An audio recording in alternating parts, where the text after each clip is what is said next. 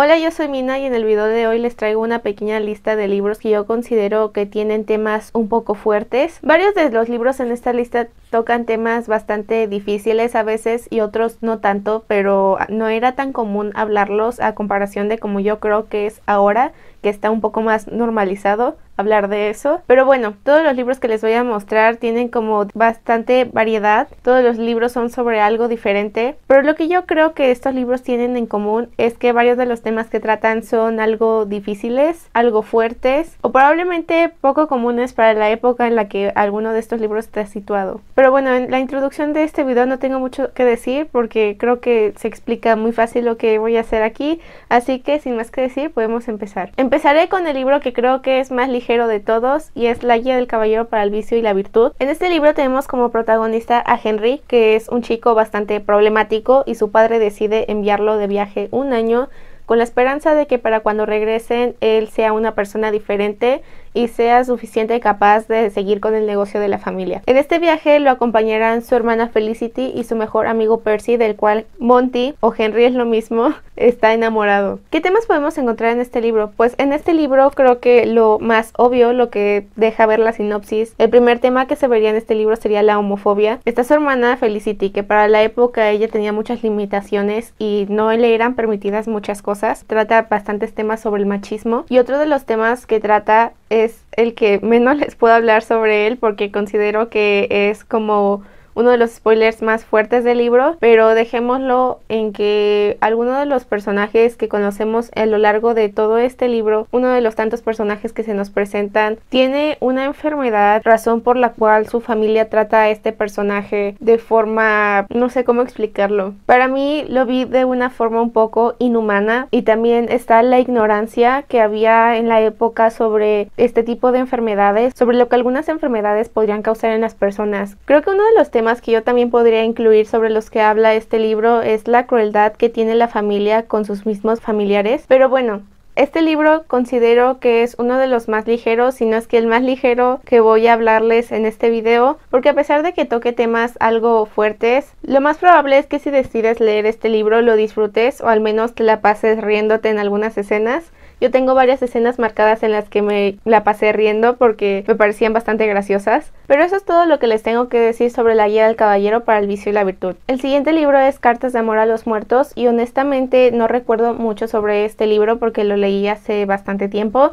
Pero una de las cosas que recuerdo es que tenemos a la protagonista que acaba de empezar su vida nueva en una escuela nueva después de la muerte de su hermana mayor. Que aquí es donde empezamos con los temas sobre los que habla este libro, sobre la pérdida de un ser querido, y tan cercano. Pero volviendo a la sinopsis del libro. En este libro la protagonista cuando entra a su nueva escuela, yo creo que entraba a una nueva escuela, no estoy tan segura, pero eso recuerdo. En su clase de literatura le piden escribir una carta a alguna persona que haya fallecido y ella empieza escribiéndole cartas a famosos que fallecieron. De los que recuerdo estaba Amy Winehouse y Kurt Cobain. Y a través de estas cartas es donde la protagonista empieza a desahogar todo lo que se guarda, todo lo que está pasando en su mente, la forma en la que se siente y todo lo que siente que no le puede decir a las demás personas. Y también es a través de estas cartas que sabemos cómo es que fue la muerte de su hermana, porque es un misterio para ti como lector. Tú inicias el libro y sabes que su hermana mayor ya no está, pero no sabes qué es lo que pasó exactamente. En este libro también podemos ver cómo a veces la carga, todo lo que pasa en la vida de alguna persona es demasiado para alguien, tanto que esa persona se siente incapaz de soportarlo. Así que algunos de los temas que se tratan en este libro son la pérdida de un ser querido, la etapa de duelo, personajes que llevan una carga demasiado pesada para ellos mismos, la importancia de buscar ayuda y la idealización que alguien crea sobre otra persona. No voy a decir que Cartas de Amor a los Muertos sea uno de los mejores libros que he leído, pero creo que fue uno de los primeros libros que leí en donde se habla de la importancia de la salud mental y creo que nos podría hacer ver a muchos cosas que antes ignorábamos o que simplemente no tomábamos tanto en cuenta. El siguiente libro es Sadie de Courtney Summers y con este libro tengo una relación amor-odio porque la sinopsis de este libro es sobre Sadie, una chica que busca venganza por la muerte de su hermana menor, ya que su hermana menor fue asesinada y ella busca venganza porque al parecer nadie está haciendo gran cosa al respecto y por eso es que Seiri decide ir a buscar a esta persona por su cuenta. Y al mismo tiempo mientras tú estás leyendo la historia narrada por Seiri hay una persona que está narrando un podcast. Por lo que se podría decir que cuando tú lees a Seiri estás leyendo las cosas en tiempo real. Y cuando estás leyendo lo del podcast es algo que ya pasó. Y esto yo no lo considero spoiler porque viene en la sinopsis del libro. Está un locutor en un podcast contándote qué es lo que pasó con Seiri porque al parecer Seiri está desaparecida. Entonces aquí es donde tú tienes que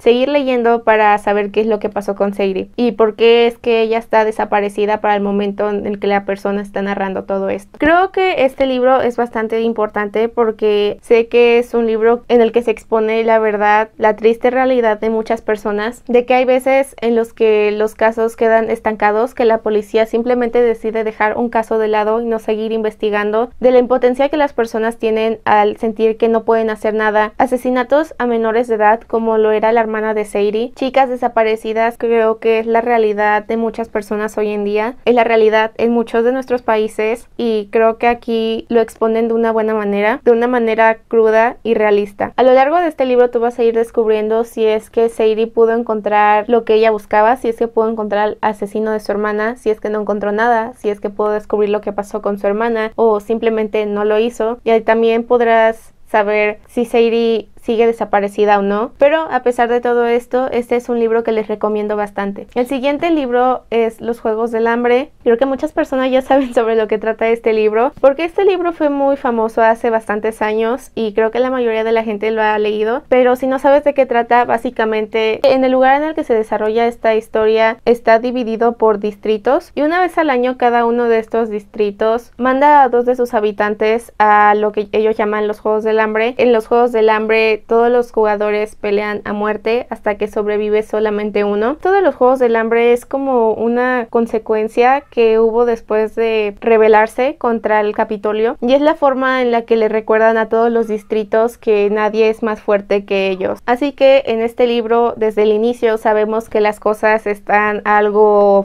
turbias con todo el tema de, de quiénes son las personas que tienen el poder, de quiénes son los que gobiernan y cómo es que manejan todo lo que está en sus manos. A estas personas no les importa quién vaya a los juegos, no les importa si es un niño. Lo único que les importa es recordarles anualmente a estas personas que no pueden ganarles. Y creo que no es sorpresa para nadie porque es algo que te das cuenta empezando el primer libro. Es lo lleno de corrupción que está este lugar, lo lleno de crueldad injusticia, pero creo que no les terminé de decir sobre lo que trata. Y en este libro tenemos como protagonista a Katniss Everdeen, quien se ofrece como tributo para ir a los Juegos del Hambre después de que sale elegida su hermana menor. Un libro con una buena historia y con temas bastante interesantes, diría yo. El siguiente libro es Una obsesión perversa de B.A. Schwab o Victoria Schwab y ya he hablado algunas veces de este libro porque es uno de mis favoritos y la verdad objetivamente es uno de los mejores libros que he leído, pero empezaré diciéndoles sobre qué trata este libro. Muy en general, en este libro tenemos a dos personajes principales que son Eli y Victor Bale. Estos dos personajes estudiaban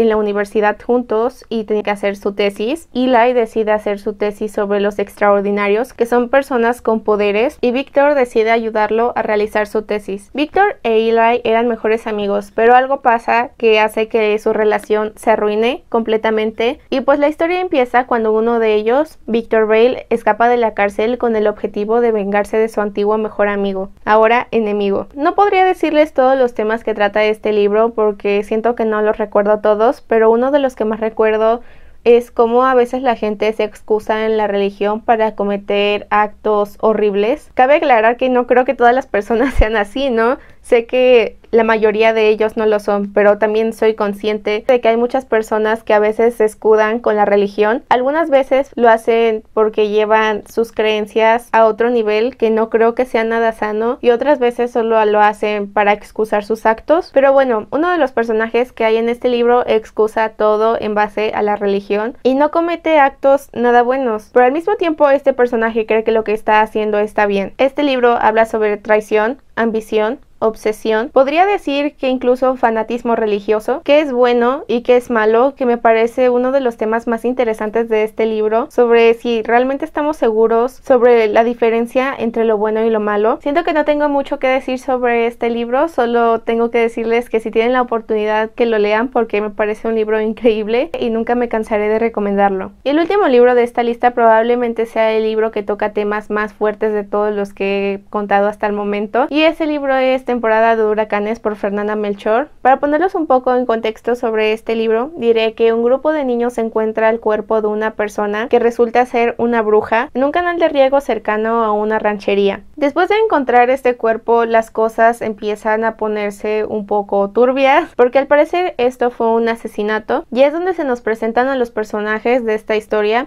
que es un grupo de personas que se ven todos involucrados en la muerte de esta bruja. Cada una de estas personas está relacionada con el crimen y cómo es que cada una de estas personas se relaciona con el crimen lo vas a descubrir leyendo esta historia, pero no es así de fácil todo porque realmente creo que es un libro muy fuerte. La verdad ya tiene un tiempo que leí este libro por lo que no recuerdo todo, pero algo que nunca creo olvidar es sobre varios de los temas que este libro trata y algunos de estos eran eh, sexo a muy muy temprana edad, corrupción, creo que incluso feminicidio, la ignorancia, inseguridad, pero bueno, en conclusión, este es un libro muy realista, diría yo, un libro bastante crudo que no teme a mostrar la realidad de ciertas situaciones, que no teme a criticar a la sociedad y hablar de sus verdades. Así que si quieren leer algo relacionado sobre esos temas, yo diría que temporada de huracanes es una buena opción. Y bueno, estos han sido todos los libros que tenía para contarles en este video. Pero bueno, muchas gracias por haber llegado hasta esta parte del video. Espero que lo hayan disfrutado.